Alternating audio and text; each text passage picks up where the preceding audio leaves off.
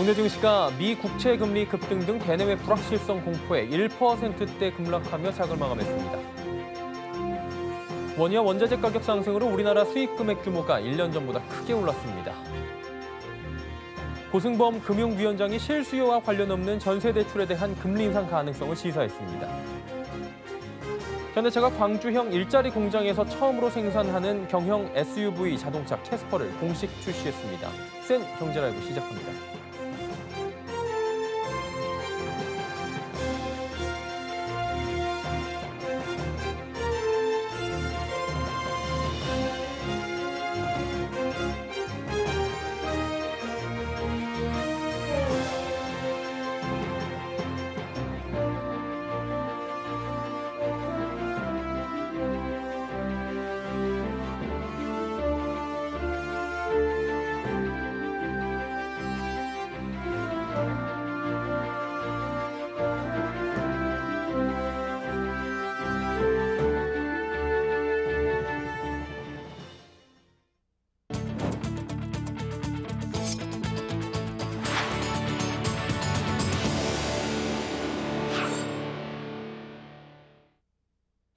시청자 여러분 안녕하십니까? 센 경제라이브 서정덕입니다. 코스피 지수가 3천선 지지 기로에 섰습니다. 코스닥은 장중에 천선이 무너지기도 했는데요. 미국 국채 금리 급등 등 대내외 불확실성이 짙어지며 국내 증시가 공포에 휩싸였습니다. 김혜영 기자입니다. 코스피 지수가 1.22% 하락하며 3,060선으로 주저앉았습니다. 외국인과 기관이 동반 매도에 나서며 지수 하락을 부추겼습니다. 장중 천스닥이 붕괴된 코스닥은 막판 낙폭을 줄이며 1001선에 장을 마쳤습니다. 금리, 환율, 유가, 반도체 업황과 실적 시즌 경계 심리 등 국내외 복합적인 악재가 증시를 강타한 겁니다. 삼성전자가 2.8%, SK하이닉스가 3.3% 하락하며 낙폭이 두드러졌습니다. 반도체 업황의 불확실성이 여전한 상황에서 마이크론의 부진한 실적 전망과 필라델피아 반도체 지수 하락이 부담을 안긴 겁니다. 특히 글로벌 자산 시장의 투자 지표인 국채 금리가 급등하며 자산 시장 버블 붕괴 위험이 고조되고 있습니다. 미국의 사상적 국가 채무 불이행 우려도 확산되고 있습니다. 미국 10년물 국채 금리가 1.50%를 돌파했고 국고채 5년물도 1.9%까지 올랐습니다. 기술주와 성장주의 타격이 불가피한 상황입니다. 원자재 가격과 유가도 고공행진하며 인플레이션 압력이 터져나오고 있습니다. 환율 움직임도 심상치 않습니다. 원달러 환율은 연고점을 경신하며 장중 1,190원 턱밑까지 치솟은 뒤 오후 들어 하락해 1,181원 80전에 마감했습니다. 이처럼 대내외 불확실성이 커지며 안전자산인 달러와 선호 현상이 강해지는 등 외국인 투자자의 이탈 가속화를 부추기고 있습니다. 서울경제TV 김혜영입니다. 원유와 원자재 가격이 오르며 우리나라 수입 금액 규모 1년 전보다 45%가 넘게 오른 것으로 나타납니다. 한국내기 발표한 8월 무역지수 및 교역 조건 통계에 따르면 지난달 수입 금액 지수는 1년 전보다 45.2% 올랐습니다. 작년 12월 이후 9개월 연속 상승했고 오름폭도 2010년 5월 51.2% 이후 11년 3개월 만에 최대의 증가율을 기록했습니다. 품목별로는 석탄과 석유 제품의 상승률이 130.3%였고 1차 금속 제품과 광산품이 각각 103.8%, 89.8%로 그 뒤를 이었습니다. 가계부채 저승사자로 불리는 고승범 금융위원장이 전세대출 규제를 예고하며 그 방식에 관심이 쏠립니다. 실수요와 관련이 없는 전세자금 대출의 금리를 올리는 방안이 거론되는데요. 하지만 이게 말처럼 실수요와 비실수요를 구분하는 게 가능할지 벌써부터 의문이 제기됩니다. 윤다혜 기자입니다. 금융당국이 다음 달 발표할 가계부채 추가 대책에 전세대출 규제를 포함할 전망입니다. 고승범 금융위원장은 최근 전세대출의 경우 실수요자 대출이기 때문에 세밀하게 봐야 하는 측면도 있고 반면에 전세대출이 금리라든지 조건 면에서 유리하다는 지적도 있다며 종합적으로 검토할 것이라고 말했습니다. 실수요가 연결되지 않은 전세대출의 금리를 올려 가수요를 차단하겠다는 뜻으로 풀이됩니다. 금융당국이 전세대출을 겨냥한 이유는 갭투자로 활용돼 집값 상승을 부추기는 원인이 되고 있다는 판단 때문입니다. 실제로 가계대출 증가액에서 전세대출이 차지하는 비중은 절반이 넘었습니다. 올 8월까지 5대 은행의 가계대출 증가액은 28조 6천억 원, 이 중 전세대출은 14조 7천억 원으로 51%를 차지합니다. 규제 대상에서 실수요를 제외시키는 것이 새로운 전세대출 규제의 성패가 달린 셈입니다. 하지만 실수요와 비실수요를 구분하는 것이 현실적으로 쉽지가 않습니다. 한 은행권 관계자는 현실적으로 전세대출을 실수요와 비실수요로 구분하기 어렵고 그 개념도 모호하다고 지적했습니다. 당장의 주거와 직결된 전세대출에 섣불리 손을 댔다가는 애꿎은 실수요자들만 피해를 볼 수 있다는 우려가 나오는 이유입니다. 이미 청와대 국민청원 게시판에는 막아놓은 집단 대출을 풀어달라는 실수요자들의 목소리가 잇따르고 있습니다. 서울경제TV 윤다입니다. 현대자동차가 경형 SUV 캐스퍼를 오늘 공식 출시했습니다. 상생형 일자리 광주 글로벌 모터스에서 위탁 생산되는 첫 차량인데요. 온라인 직접 판매 방식도 새롭게 도입됐다고 합니다. 정세미 기자입니다. 현대차그룹의 새로운 생산 판매 방식을 도입한 경형 SUV 캐스퍼가 오늘 공식 출시됐습니다. 가장 큰 특징은 운전자 시트가 앞으로 완전히 접히는 full folding 기능입니다. 세계 최초로 적용된 이 기술로 실내 공간의 한계를 극복했습니다. 2열 시트도 최대 160mm 앞뒤로 이동하고 39도까지 젖혀 차박의 활용도를 높였습니다. 캐스퍼 기본 모델은 1.0 MPI 엔진이 들어갑니다. 최고 출력 76마력과 최대 토크 9.7kg force meter의 힘을 갖췄고 연비는 14.3km/L입니다. 고성능 선택 사양인 캐스퍼 액티브는 1.0 가솔린 터보 엔진으로 최고 출력을 20마력 이상 높였습니다. 가장 기본 trim에서도 첨단 운전자 보조 시스템 ADAS와 앞좌석 센터 사이드 에어백을 포함한 7개의 에어백을 기본 적용하여 탑승자의 안전을 강화했습니다. 한편 캐스퍼는 현대차그룹의 차 중 처음으로 직접 판매됩니다. 그간 노조가 비대면 판매를 반대해왔지만 캐스퍼는 GGM에서 위탁 생산되기 때문에 노사 단체 협약을 피할 수 있던 겁니다. 이에 따라 캐스퍼는 기존 대리점 대신 전용 웹사이트에서 구매할 수 있습니다. 차량 인수는 고객이 직접 지정한 장소나 공식 인도장으로 운영되는 블루핸즈와 용품 시공 가맹점에서 이뤄집니다. 이외에도 현대차는 경기도 용인 쇼룸을 시작으로 전국에 29개 상설 전시장을 마련할 예정입니다. 서울경제TV 정세미입니다. 서울 지역에서 아파트 청약에 당첨되려면 청약 통장 가입 기관과 무주택 기간이 15년이 넘어야 되는 것으로 나타납니다. 분양평가 전문 업체 리얼하우스에 따르면 올해 8월 기준 지난 1년 동안 서울 지역 청약 가점 커트라인을 조사한 결과 84제곱미터의 최저 가점은 평균 67점이었습니다. 이는 4인 가족 기준 청약 통장 가입 기간과 무주택 기간이 15년 이상이어야 가능한 점수입니다. 리얼하우스 관계자는 서울 청약시장에 청약자들이 몰리며 당첨 커트라인이 치솟고 있어 가점이 낮은 20, 30대에게는 당첨이 바늘구멍일 수밖에 없다고 설명했습니다. LS그룹의 LS 일렉트릭 청주 스마트 공장이 2021 세계 경제 포럼 등대 공장 연차 회의에서 세계 등대 공장으로 선정됐습니다. 등대 공장은 등대가 불을 비추어 뱃길을 안내하듯 핵심 기술을 활용해 새로운 제조업의 성과 모델을 만들어내는 공장을 뜻하는데요. 이번 세계 등대 공장에는 존슨앤존슨, 슈나이더 일렉트릭, 폭스콘 등 21곳이 선정됐습니다. 국내 기업으로는 2019년 포스코가 처음 선정된 뒤 두 번째로 생산 효율화를 통한 획기적 원가 절감이 높게 평가됐습니다. 또 에너지 관리 솔루션을 자체 개발 적용해 에너지 효율을 높인 성과도 인정받았습니다. 구자열 LS그룹 회장은 2015년부터 LS그룹이 디지털 전환을 위해 노력해온 과정에서의 큰 성과고 디지털 혁신 여정은 계속될 것이라고 말했습니다.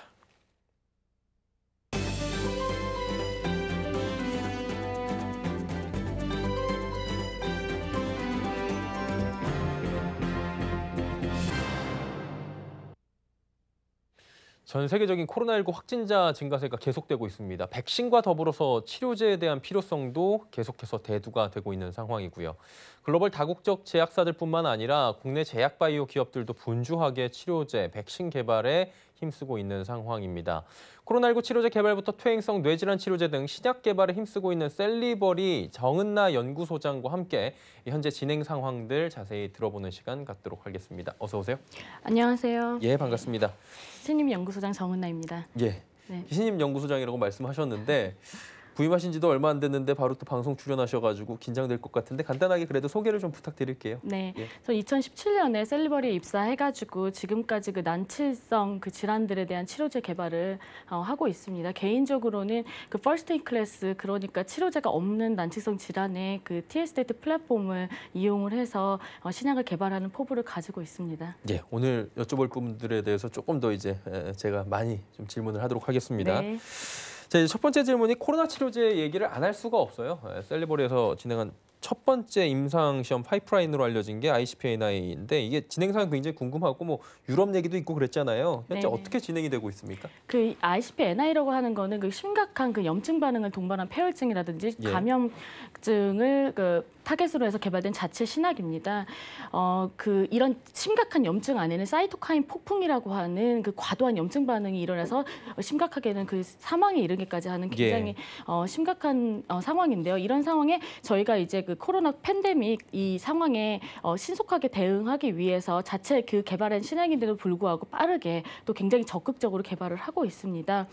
어, 저희가 이 TST라는 플랫폼을 통해서 이 예. 사이토카인 폭풍을 세포 투과성을 이용하여 세포 내에서 제어하는 효율적으로 제어하는 메커니즘을 가지고 있고요. 예. 어, 세포 투과성 그리고 체내 안전성을 기반으로 해서 그 중증 염증 모델, 그 되게 다양한 모델을 저희가 연구를 하고 있는데요. 뭐 간염이라든지 어, 바이러스성 무사 폐렴에서 어, 많게는 100% 그리고 어, 70% 이상의 그 치명률을 개선하는 효능을 이미 검증을 하였습니다.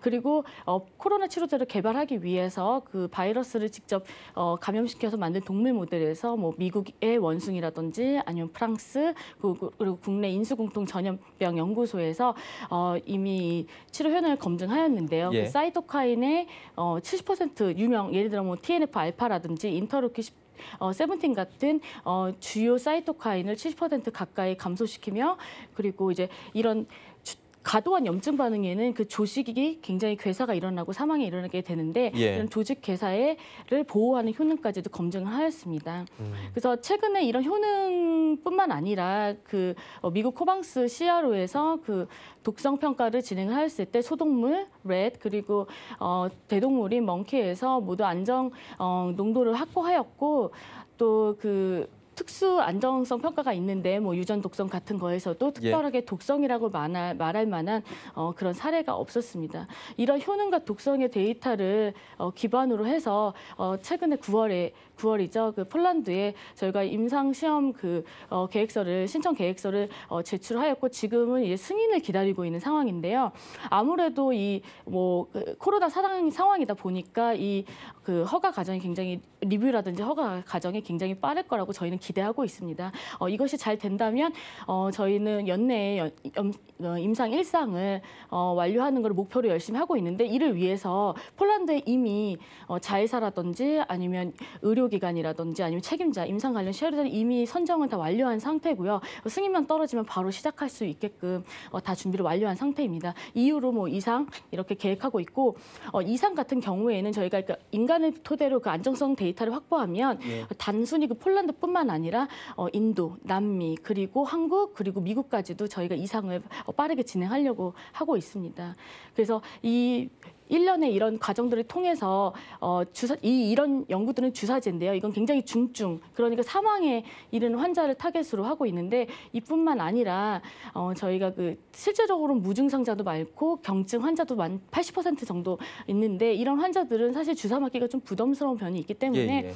어, 바로 그 전략적인 치료죠. 그러니까 흡입 제형을 개발을 해가지고 바로 폐로 어, 치료 물질을 전달하는 어, 그런 컨셉으로 지금 비임상을 어, 하고 있고요. 어, 빠르게 또 임상을 진입하려고 지금 어, 다각도의 그 연구를 진행하고 있습니다. 음. 그래서 이것이 잘 되면 2상부터는 저희가 그 글로벌 big pharma와 licensing 어, 그 딜에 대해서 노- 계속 활발한 논의를 할 생각을 하고 있습니다. 자체 임상뿐만 아니라 어, licensing까지 어, 생각하고 있는 음, 치료제입니다. 예.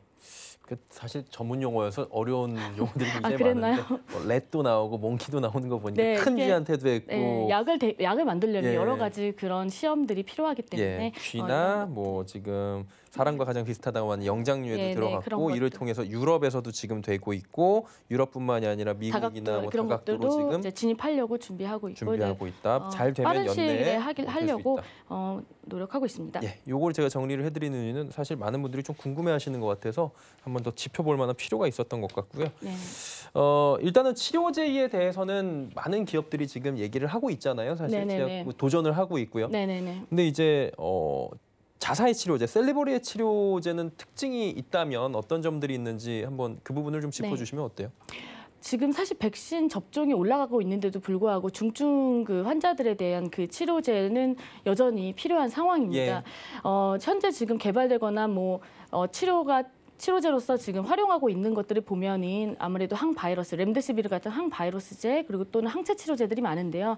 이런 거 같은 경우에는 기저질환이 있는 환자에게 사용 아니, 효능이 별로 없거나 아니면 사용 네. 자체가 힘들고 부작용 때문에요. 그리고 또는 그 항체 치료제 같은 건 뭐 아시겠지만 single moiety, 그러니까 single target에 대한 어그 그 target을 딱 잡는 그런 메커니즘을 가지고 있다 보니까 아무래도 거죠. 예, 변종이 되면 또 다시 개발하고 변종이 되면 또 다시 개발하고 이렇게 빠르게 진행되는 이런 질환 어, 상황 팬데믹 상황에서는 어, 조금 개발에 제한이 있는 것이 이 사용에 제한이 있는 것이 사실입니다. 그러나 ICP-NI 같은 경우에는 어, 실질적으로 코로나 환자들이 죽음에 가는 원인을 봤을 때 어, 뭐 과도한 염증 반응을 일으켜가지고 폐렴으로 시작한 것이 기저 질환을 악화시킨다든지 아니면 조직을 비가역적으로 그 가역적으로 아예 망가뜨린다든지 아니면 사망에 이르기까지 많은 그 어 그 조직들을 온몸에 이렇게 염증을 일으키는데요. 이 ICP-NI는 변종에 상관없이 그 과도한 염증 자체를 세포 투 세포 안에서 제어하기 때문에 예. 어, 변종이 일어나더라도 어, 염증 반응이 과도하게 일어나는 어, 환자들이 있다면 어, 투여나 어, 치료가 가능한 concept을 가지고 있습니다. 그래서 지금같이 변이가 계속 일어난다고 하더라도 어, with 코로나가 아무래도 사냐 이런 부분에 더 지- 집중 케어가 필요하기 때문에 아무래도 감염 자체를 낮춘다기보다는 바이러스에 감염해도 죽, 죽지 않으면 어, 크게 상관없는 시대가 이제 곧 올 텐데 그때 이제 더 점각하고 어, 매력적인 치료제가 될 것이라고 저는 생각하고 어, 적극적으로 어, 개발하고 있습니다. 요거 하나만 짧게 여쭤볼게요. 자료 나온 거 보니까 뭐 캡슐 제형 흡입형 얘기 나오는데 네네. 간단하게 좀 짚어주시죠. 네, 흡입장 제가 아까 간단하게 말씀드렸는데 이 흡입제 저희가 사실은 어, 이 코로나 치료제 말고도 이 이게 감염증 말고도 비감염 그러니까 저희가 우리 몸 자체적으로 염증 반응을 일으키는 부분에 어, 벼락 그 만성 질환이 있을 수 있는데 저희가 자, 자가 면역이라고 하는 부분인데 예. 저희가 이 자가 면역증은 아무래도 만성이다 보니까 제형이 굉장히 환자 편리해야 됩니다. 아무래도 뭐 크림이라든지 흡입이라든지 캡슐이라든지 우리가 병원 가서 꼭 주사를 맞지 않아도 어, 간편하게 어, 치료를 할 수 있어야 되는데요. 그런 부분은 이미 이제 여러 가지 다각도를 개발을 하고 있었습니다. 그래서 아무래도 이 코로나 시대에 그 역시나 그 무증상자 경 경증상자 아, 경 증 환자들을 대부분인데 80% 이상을 어, 타겟하기 위해서 이런 개발 경험을 바탕으로 어, 비임상 지금 하고 있고요. 어, 비임상의 그 임상 실험 완료되고 그다음 독성이 완료되면 어, 임상이 빠르게 진행될 수 있을 거라고 생각하고 있습니다. 한 가지 제형이 아니라 여러 가지 제형을 어, 개발하고 가져간다. 네, 가져가는 컨셉입니다. 코로제 치료제로 사실 요즘에 관심들이 많으시긴 한데 제일 중요한 건 퇴행성 뇌질환 쪽에서 원래 좀 각광을 받고 기술특례 상장도 그쪽으로 된 걸로 저희는 알고 있었어요. 음, 네. 어디까지 와 있는지 궁금하신 분들이 이 부분도 계실 것 같아요. 네, 사실 이 빅파마들이 저희 회사에 가장 많이 관심을 가지고 있는 건 퇴행성 뇌질환입니다. 그 이유가 가장 양립 물질을 전송하기 힘든 조직이 뇌 조직인 거죠. 예. 그 뇌 조직은 다른 조직과 조금 다르게 굉장히 그 바- 방어벽으로 보호되고 있습니다. 그래서 이 방어벽 자체가 그 어, 혈내 장벽이라고 하는 그러니까 비비비라고 하는 데인데 어, 방어벽이 있는데 이 방어벽을 뚫어야지만 뇌세포까지 양리물질이 전달될 수 있습니다.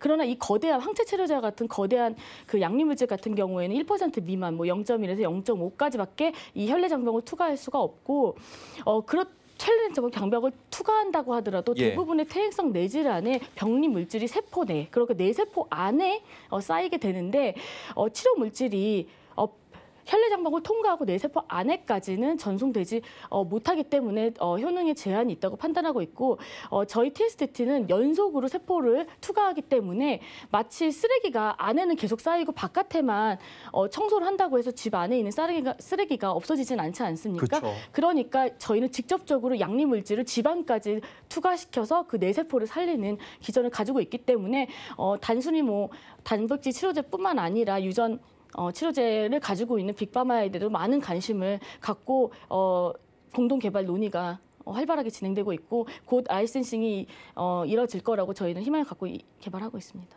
예. 어, 좀 어려운 얘기일 수도 있는데요.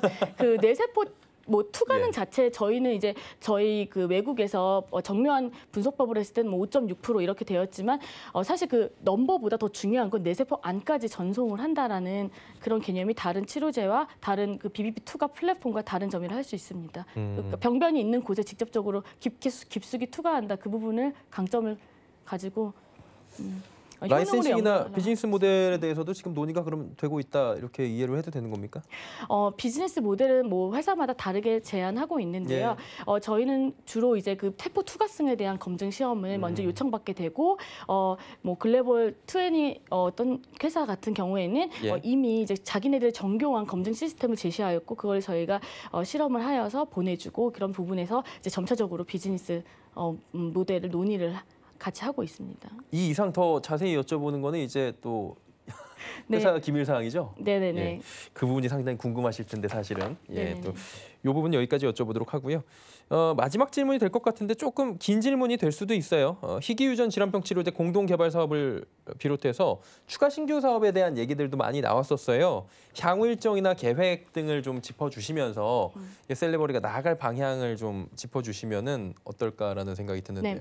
글로벌 top 10이랑 공동 개발을 하고 있는 희귀 유- 그 유전병 치료제 같은 경우는 어그 저희가 지금 사실 milestone 1, 2까지는 성공적으로 완료하였고 어 저희가 그 마지막 단계 효능 평가를 진행하고 있는데 이것이 성공적으로 완료하게 되면 어 저희가 licensing 을 할 수 있을 것 같고요. 그 다음에 이 플랫폼까지도 이 전송 능력을 인정받아 어, 전송이 어려운 뇌조직 또는 심장 조직까지 전송 능력 인정받아 플랫폼까지를 라이센싱을 논의하려고 하고 있습니다. 그리고 그 외에도 유전자 치료제에 활발하게 개발하고 있는 빅파마들이 어, 공동 개발을 제시하고 있는 상황입니다. 예, 알겠습니다. 자, 오늘은 시간이 여기까지만 좀 예, 허용이 된 것 같아서 네. 아쉽지만 여기까지 듣도록 하고요. 다음번에 또 새로운 뭐 기술이나 아, 또 소식이 있다면 저희가 모시고 이야기를 좀 나눠보는 시간 갖도록 하겠습니다. 분주하게 움직여 주셔서 좋은 결과물로 많은 분들을 또 낫게 해주시길 저희가 응원하도록 하겠습니다. 정원나 셀레버리 연구소장과 함께했습니다. 고맙습니다. 네, 감사합니다.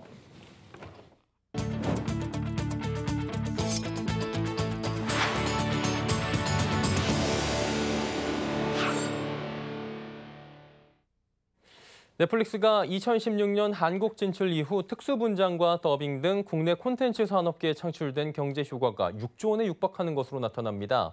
글로벌 OTT의 등장이 한국 콘텐츠 산업을 잠식할 것이라는 우려가 있었는데 오히려 관련 산업계는 호기를 맞는 모양새입니다. 김수빈 기자입니다. 한국에 진출한 지 5년. 넷플릭스는 오늘 파트너데이 행사를 열어 그간 파트너사와 협력을 돌아보는 시간을 가졌습니다. 이번 행사에는 특수분장, 색보정, 음향 등을 담당하는 파트너사 관계자들도 참석해 넷플릭스와의 긴밀한 작업 과정과 성과를 소개했습니다. 넷플릭스는 특히 한국 창작자들과 함께 빚은 콘텐츠가 전 세계가 즐기는 대중문화로 자리매김 중이라고 강조했습니다. 최근 66개국에서 1위를 차지하고 있는 오징어 게임과 사회 전반에 화두를 던진 DP 등을 언급하며 한국 시리즈가 콘텐츠 업계를 넘어 우리 사회 다양한 분야에서 큰 울림을 선사했다고 설명했습니다. 넷플릭스는 한국 오리지널 시리즈가 세계적 히트를 치면서 다양한 후방 효과를 창출했다고 분석하기도 했습니다. 글로벌 컨설팅 그룹 딜로이트에 따르면 그간 넷플릭스가 한국 콘텐츠 및 연관 산업계에서 창출한 경제 효과는 거의 6조 원에 달합니다. 일자리 창출에도 16,000개 정도 기여한 것으로 집계됐습니다. 넷플릭스는 한국 콘텐츠가 세계화되면서 다시 국내 창작업계의 성장으로 연결되는 선순환 구조로 이어지는 중이라고 설명했습니다. 특히 넷플릭스는 이번 행사를 통해 한국 콘텐츠 산업계와의 동반 성장을 강조했습니다. 한국 진출 이후 지적돼 온 국내 산업 성장 저해 등의 우려를 불식시키기 위한 차원으로 풀이됩니다. 넷플릭스가 국내 콘텐츠 업계에 단행한 투자액은 7,700억 원, 올해 역시 5,500억 원에 달하는 투자 계획을 발표해 한국 콘텐츠 생태계 지원에 나섭니다. 서울경제TV 김수빈입니다. 한국의 첫 글로벌 테마파크인 춘천 레고랜드 베일을 벗었습니다. 공식 오픈은 내년 5월인데요. 이 춘천은 미국 캘리포니아와 뉴욕, 말레이시아, 두바이 등에 이어 레고랜드 리조트가 들어선 열 번째 도시가 됐습니다. 문다혜 기자입니다. 레고 블럭으로 조립된 거대한 성 위엔 흩날리는 듯한 깃발 블럭이 달려 있습니다. 레고 블럭으로 조립된 소방차에 탑승해 손잡이를 힘차게 누르자 소방차가 앞으로 갑니다. 회전목마엔 말 대신 각양각색의 레고 장난감이 들어섰고 곳곳에 세워진 레고 모형들은 어린이 몸집만 합니다. 춘천의 새로운 관광 명소가 될 것이란 기대를 받아온 한국의 레고랜드가 처음으로 모습을 드러냈습니다. 7개 테마구역으로 이뤄진 레고 테마파크에선 59m짜리 전망대를 타고 호수를 한눈에 내려다볼 수 있고 레고의 인기 캐릭터인 닌자고가 되어 수련을 할 수도 있습니다. 제 왼쪽에는 거대한 레고로 만들어진 극장과 오른쪽에는 경찰서가 있습니다. 그리고 제 옆으로는 실제 탑승 가능한 레고 경찰차도 있습니다. 이곳은 실제로 판매 중인 레고 제품을 실제 크기로 키워 마을을 조성한 곳입니다. 강원도 춘천 중도에 들어선 레고랜드 코리아 리조트는 전 세계 10번째 레고랜드이자 한국의 첫 글로벌 테마파크입니다. 영국 멀린 엔터테인먼트 그룹과 강원도가 개발에 나섰으며 총 사업비 5,270억 가운데 영국 멀린사가 4,470억 원을 투자했습니다.